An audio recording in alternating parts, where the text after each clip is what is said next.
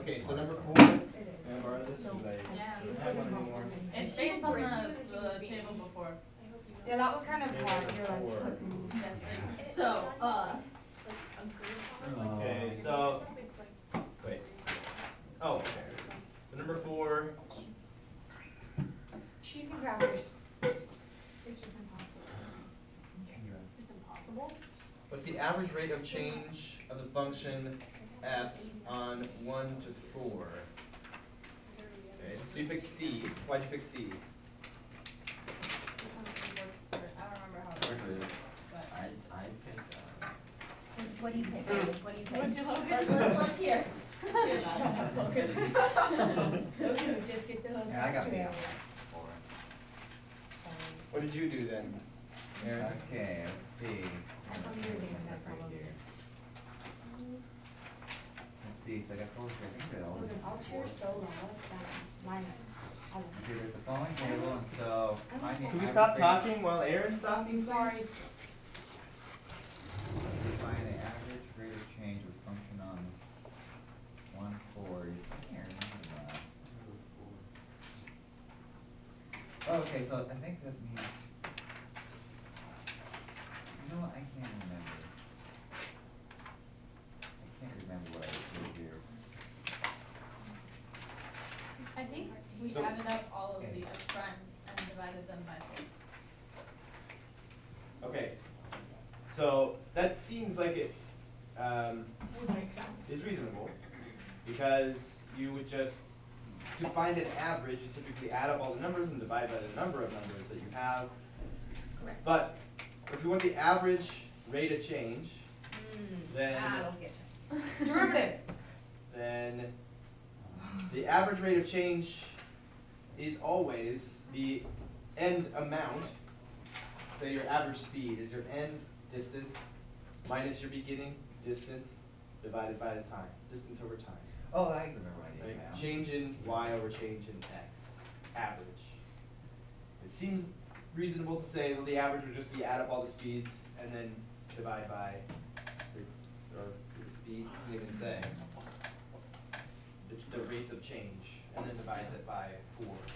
And so, you know, what I did, Uh-huh. let's see, I took, let's see, I just kind of took, I just like took all the plots, I just kind of found like the slope individually of each one, so I like went three minus two over two minus one, three over four minus. I went for, yeah, I took the slopes between one to two, two to three, and three to Uh. four. Uh-huh. So that was, so I did like a slope rule, at y two minus y one, so I went three minus two over two minus one, plus four minus three over three over two, plus, uh, six minus four over four over three, which gave me one plus one plus two, which equals five, and since I did, there's three total, but that would be three. Whoa, I did not know Uh, That's hard, alright. that. Okay. Am I right down Great. it or not? no, Oh, yeah, I'm saying, I don't know if that was supposed to be the right way or not. so you add them all up and divide it by, I did kinda like same thing they did. or you just, you found the slopes, Yeah. one, Between one and two, two to three, and three to uh, four. and then divide that by three. Yep. And you got that Think about that for a second, but And then in equals- general, and then equals average rate of change or average speed or average velocity even, you would just take, say I started at twenty miles away from something and then I wound up fifty miles from that same reference point, uh, I don't know, half an hour later. I'll just take fifty minus twenty, you got thirty, over a half an hour, right, point five hours. So I'm traveling at an average of sixty miles an hour, right? So that's what we're gonna do here, we're just gonna take the end distance, or distance six, minus two over four, minus one. Which is the same. Oh, Basically, just take it to be a straight tangent line from point A to point B, what is the slope of that line? Four. There. Yours is And that could be more tough when, that's the, see, that's the average rate of change. We might be confusing it with the average value. So that can be confusing because they're giving you rates of change values, values of the rates of change. Um, let's see what Karen did. I think maybe just the exact same thing in a different form. I think slow. I kind of instead of going like six two, I was like, minus four plus, four, Yeah. minus three plus. Aaron, you're just doing the same thing Yes. because six minus two if there's a, a point at, uh, what, four, six, and one, two, I was thinking the mean thing. Six minus two is gonna give you this. If you have all the rates of change, you're gonna be counting, you know, all of the, the y Yeah. changes along here, that, all, the sum of all of these y changes here Yeah, is gonna be this. Right, yeah, then you divide it by three, it's the same as dividing it by four minus one, which is yeah. Um, You said simpler than I did. So I was thinking, he said me, so I was like, okay, fine, then Uh-huh. add them up, add, add them up. but- So the average rate of change would be, you take, you see how much did it change in the y direction over how much did it change in the x direction, the average rate of change. But average, if you don't know what's the average, uh, number of miles, which is kind of a weird thing about it, um, then you would do more like, basically find the area under the curve then by the interval. Which is how much you guys did.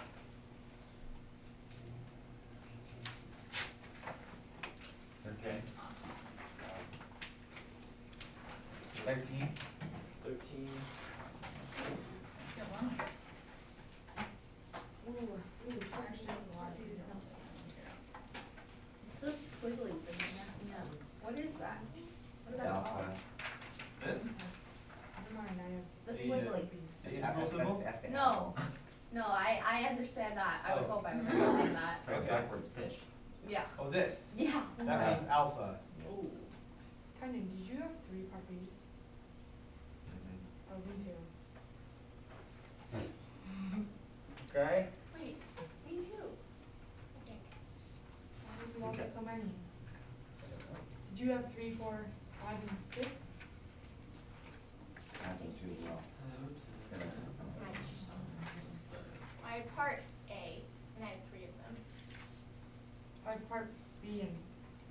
I think our group failed to share. None of us shared our, that's why. We all just kept our individual sheets. Alright. Um, We're idiots. the thing we need to see here is that this is, uh, this guy right here is a result of having done the chain rule on some function. Okay. And, and one thing that's helpful is if we rewrite this, so it's. Not with the squiggles? No, it's just, Not with this square. you know, sine cubed of alpha means you take the sine of alpha, you cube that. That does help. Mm-hmm. So, like a u substitution problem. What if this were u? What would be du? What would be du if that was the sine, if u was the sine? Three. No, just this, Okay. not this, just this. Oh, yeah, okay. Cosine, I heard it already, cosine alpha d alpha. It goes oh, Right? So this looks like u cubed du, which is a simple thing to take the antiderivative of, right? u. u. So this is 1 fourth times the sine of alpha to the fourth. If we take the, the derivative of this, look at that, we use the chain rule. We're going to take that from pi over 4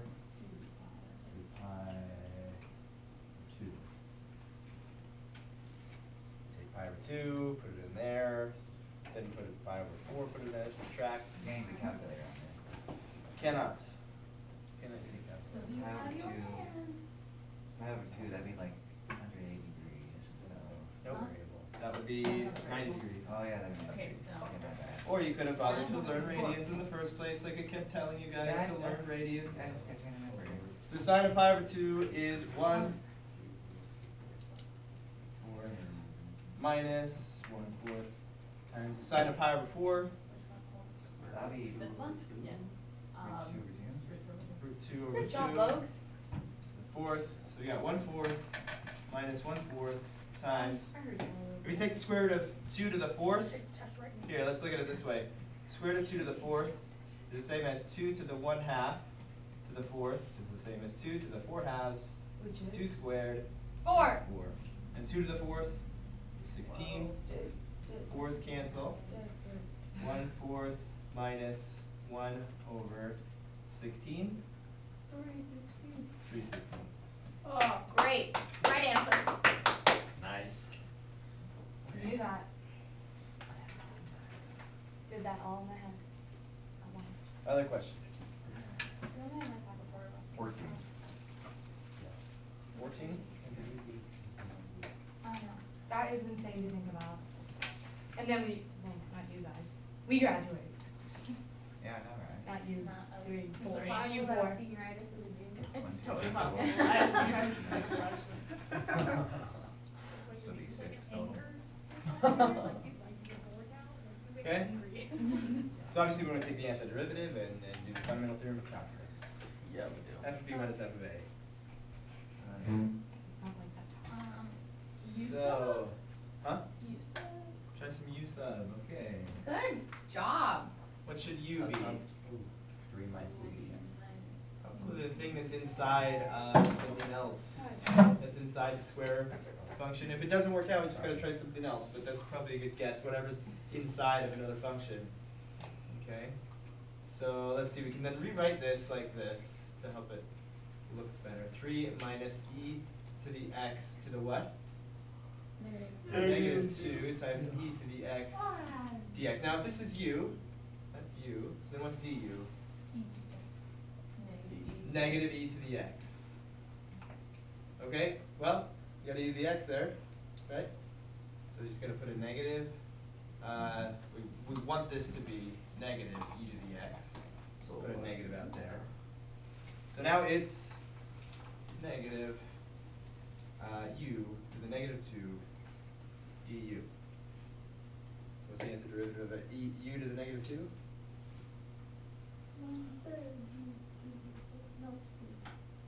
It's a negative. Oh gosh. You have this negative here. This would be to the negative 1 mm-hmm. u negative. Yeah. Negative 1 times negative is positive. Subtract 1 from the power, you get negative 2. Yeah? Yes. Okay so that would be negative, negative, uh, three minus e to the x squared.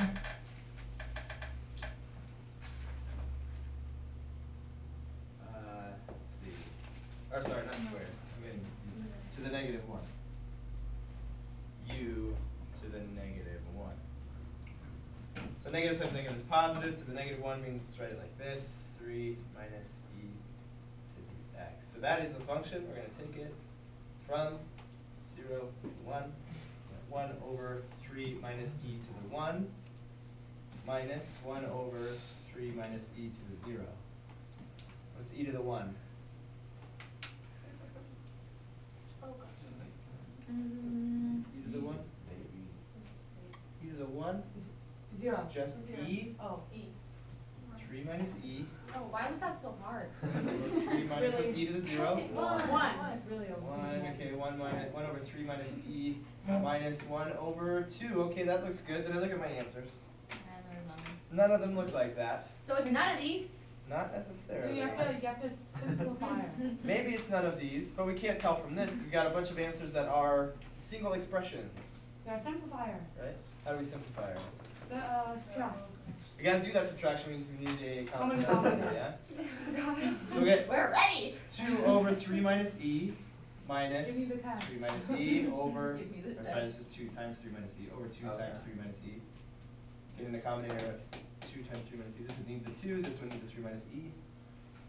Okay, so two minus three is negative one, Nice. minus negative Plus e, E. plus e, over two times three minus e. Uh, no, none of these, nope. None of 'em. None of them, absolutely none. You're certain that, like, what if we distributed this two, might it Nope. look like a thing in the denominator, or in No. these answers? Nothing, nothing. There's no sixes? No. As long as you're confident about that. Minus I hope, I hope it proves you wrong. six minus two. Uh, you know, we want to, let's see, if, if this was gonna look like something on this answer, maybe it would look like, let's see if we could cancel something out. But this was already factored, no, there's no common factors here to cancel out. Uh, so, yeah, none of Ah. these. Also, it helps when you've already read the answer, Kaden. I'm so confident. Okay, what's next?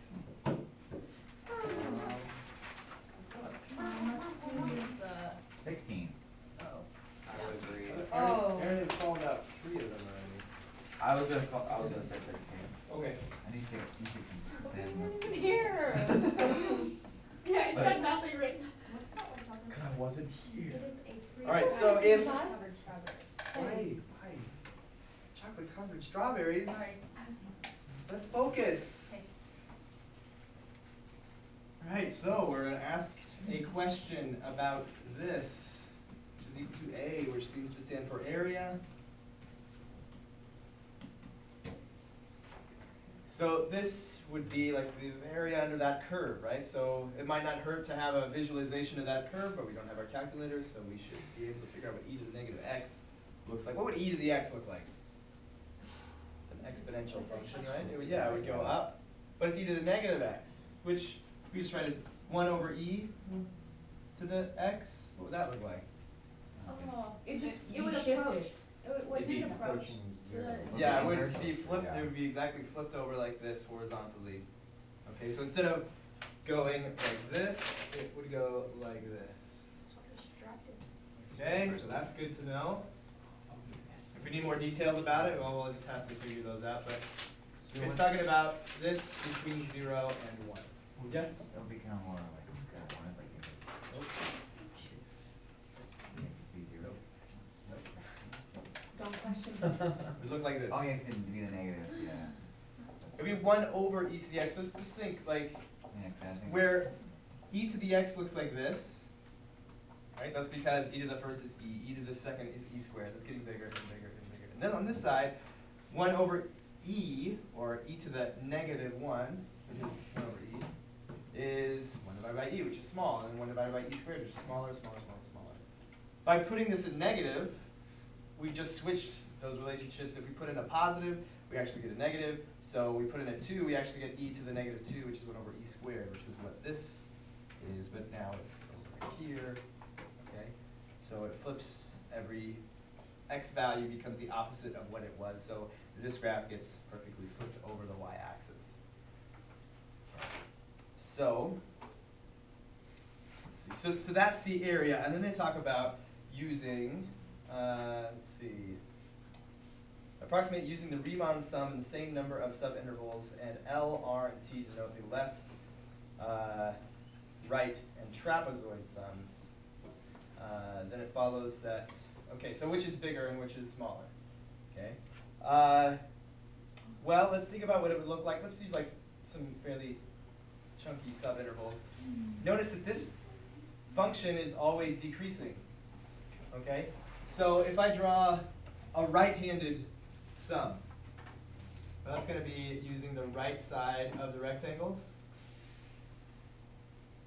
How does that compare to the actual area?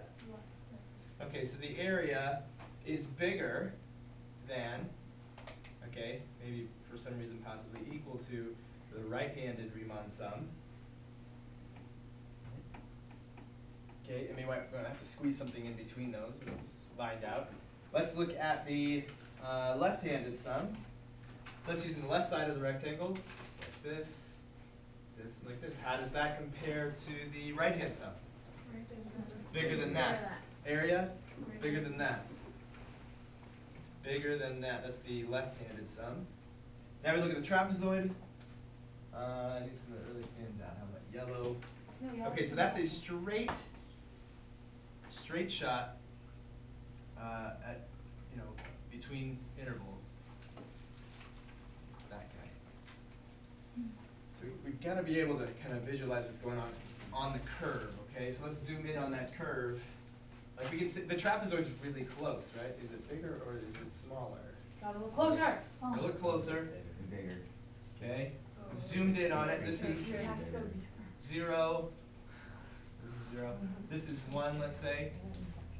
Okay, notice how it curves down like a bowl, it's concave up. Mm-hmm.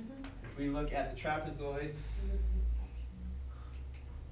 the trapezoids like this, it's gonna, this curves down like this, this one's gonna shoot straight from here to there. And this one's straight from here to there with the curve curving below it, right? That's always going to be true because it's concave up. So it's gonna be a wee bit bigger, So the trapezoid is gonna be a wee bit bigger, but not as big as the but right. not as big as the Left. left. Left. So we'll move this one over. R A T L. Rattle. She's So there we go. Beautiful. Okay, guys, I just didn't know the R A T L. Right there it I says, know, like, it's looking you through. gotta read the problem. I have a hard time reading that problem. Nineteen. Eighteen. Oh, I Yeah, had to look solve at her. Good cue, good cue. Hmm? You gonna fight me over? I mean, I'll probably just punch you in the head. Whoa. So we're looking for that area. This is at zero, four, negative one, zero, and then one, zero. If we want the area that is shaded there, You gotta take the square minus what's under. the square, Rectangle. it's a rectangle. My Okay. bad. Area of the rectangle minus the area under this curve. Yes. Yes? Square's eight. Okay. Oh, rectangle's eight. The rectangle has an area of eight because it's two by four. Okay, so the rectangle's area equals four, or sorry, eight. Two times four. Oh yes. Now we need to find the area underneath this curve here. What would be the antiderivative of the, Mm-hmm.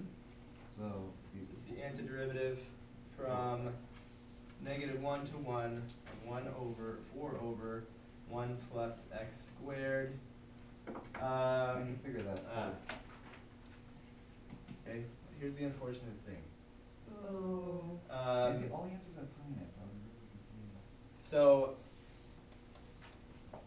to be honest, as much as I've fought you guys all year to like really dig in and dedicate yourselves, and on average, we haven't, we didn't get time to go over this, but I sacrificed it because this is the only question I've seen in all the, at least this year that I've been looking over this test, okay?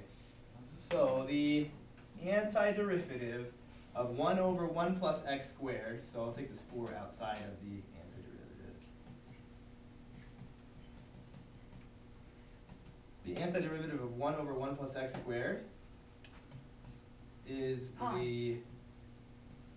The arctangent of x. Wait, what? How? Really? Interesting. Hmm. So now that that's true, that's arctangent means the inverse tangent, right? Is there any reason that that's true, or is it just like? You just learn it. That's true. That's math, so Uh, you Has to be. understand. If we had gone over it, we certainly could have discussed it in more detail. You can look in the fronts of your books, there's a bunch of antiderivatives, There's the antiderivative of one over one plus x squared dx, it probably looks like one over one plus u squared du, but it's there.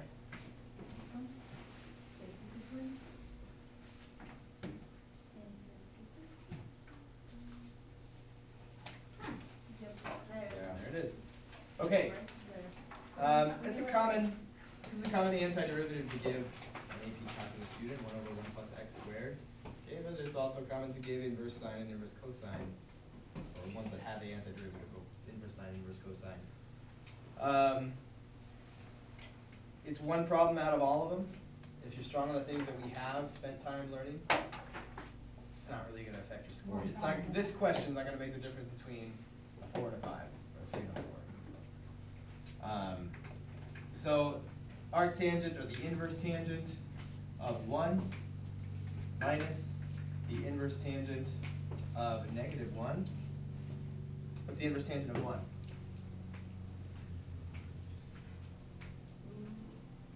That's where you take your sine over your cosine, right?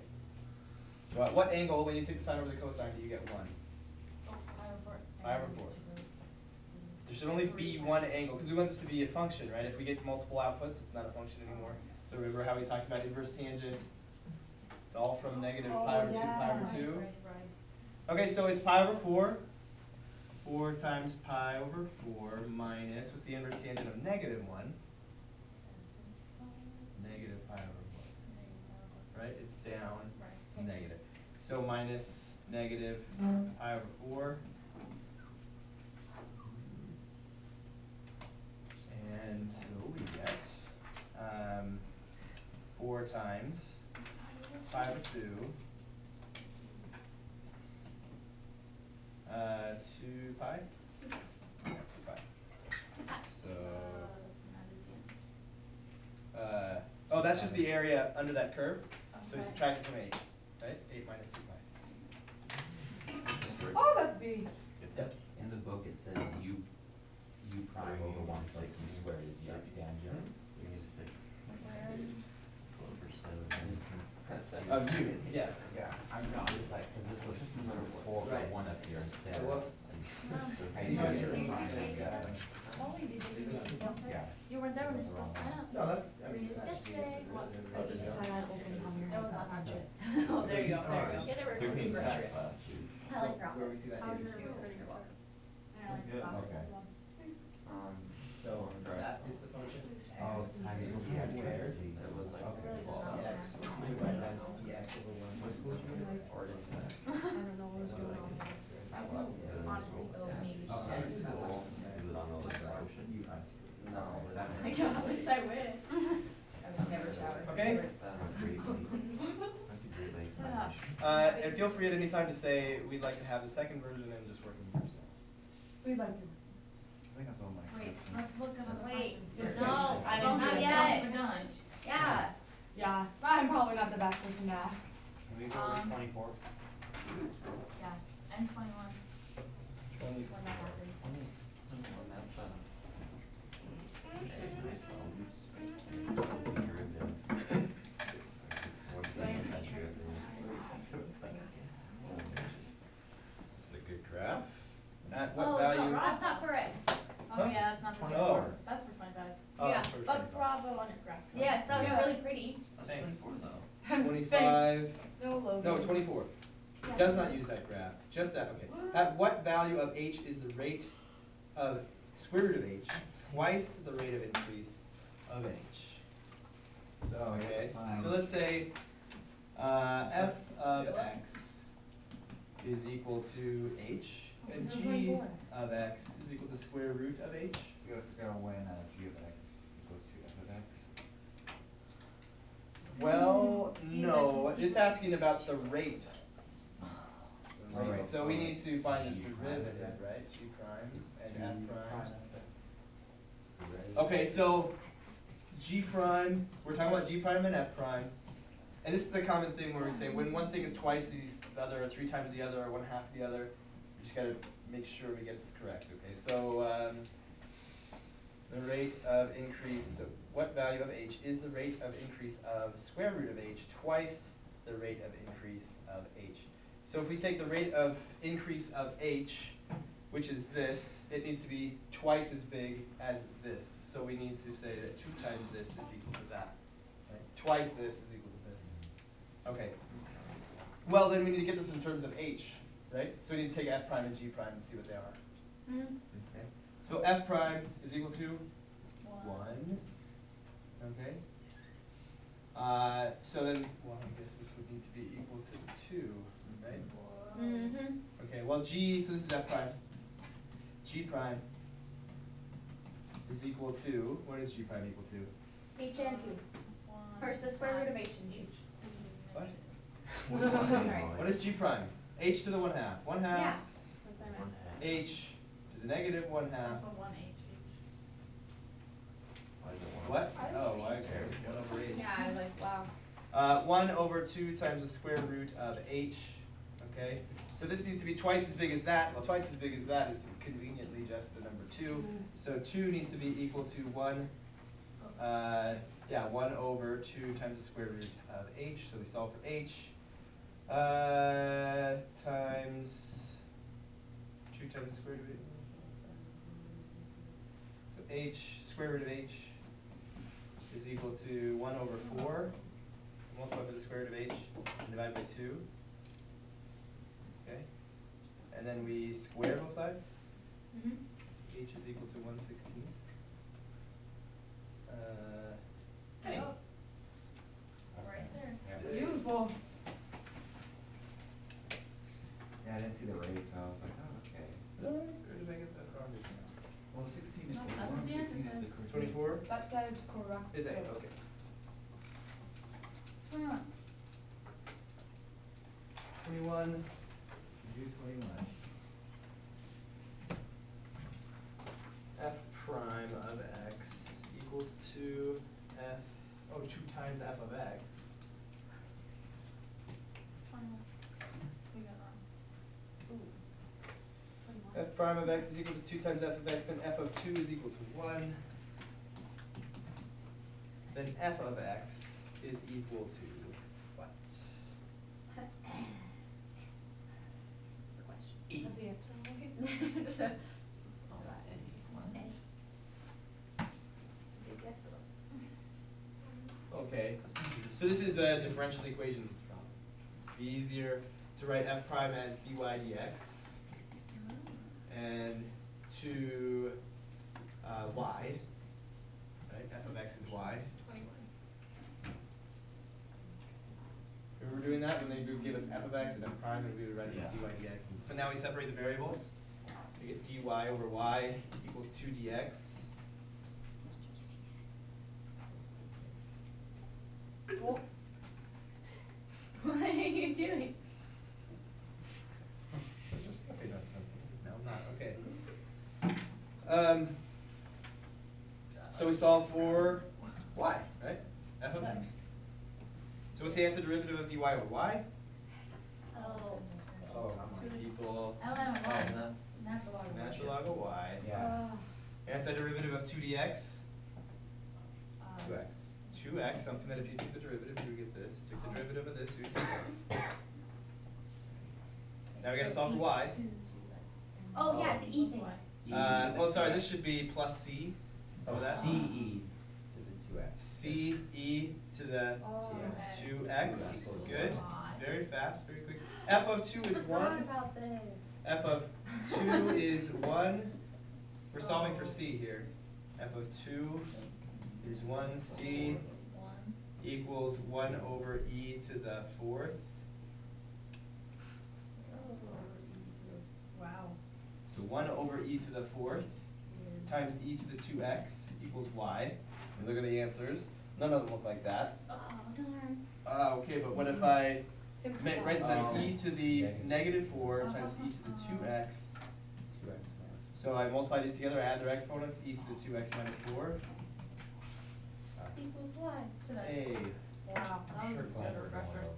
Yeah, I forgot every, That we can do that. but now I remember. yeah, so that when they tell you what f prime is, and they ask for, uh, f, and we're, we're, we gotta take the antiderivative, right, except for that's kinda hard, we have f of x. So, by definition, when an equation involves the derivative and the function, right, the function that it has that derivative, it's called the differential equation.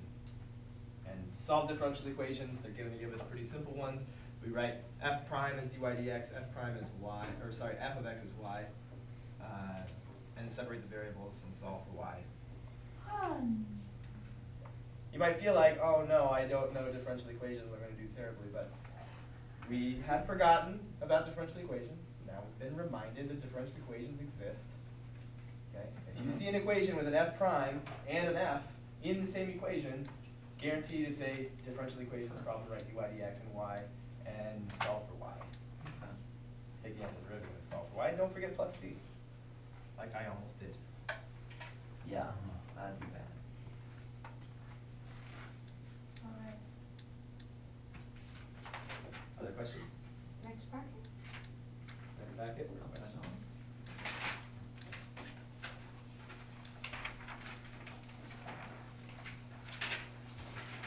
So packet B, part B?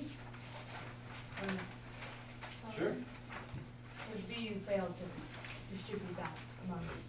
That looks like I have section two, part part B, A. or is that section one, part B? I have part B. I have section two, part A. I just have a part B. I have part B. Tiny, what did you have, but you gave it all away? Is this Well, is twenty-nine this through equal-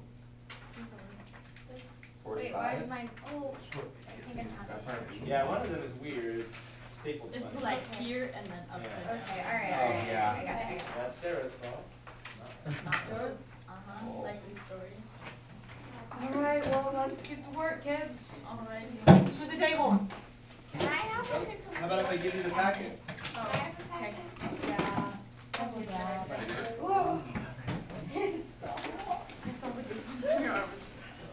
going to give you the the uh, the packet and the answers separately because I think it's really helpful when you're getting ready for something to have the answers as you study. But just don't abuse them. Abuse them because that's just not for your best. For your best, in your best interest. Not helping. You should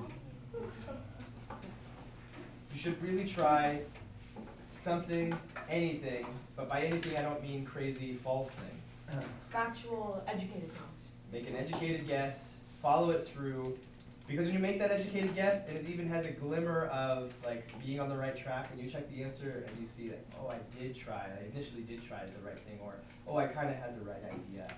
It's, it's better than, oh, I completely understand the explanation, but I didn't come up with anything originally on my own. It's not very. See what I mean? Yeah. Yep. Okay, so I'm gonna pass this out. Logan Daddy, I love your Bucks team picture. Everyone's just trying to be so serious, and Logan's just straight I haven't cheesing. seen it. So is Jade. Jade's- Jade's Hey, just who are like- we kidding with this one millimeter thick? Yeah, I Keep me know. warm. I was freezing. Who are you? What was I supposed to do? I have answer keys, the whole answer keys. Um, I don't know if that's anything. Oh, it's like a whole different. All right, Yeah, everyone. that. Oh, yeah, it's okay, Andrea. Okay, all right, everyone, have no so, just, just keep it? these separate. Okay. Wow, this is so Oh. much warmer, I, you wouldn't think so. No, I know. Unbelievably warm. Oh my gosh, this is a big one. Alright, whose group am I in? Ours, Okay. Where we go? table, black table. Alrighty. All right, teams, ugh, time to It better today. There's so many.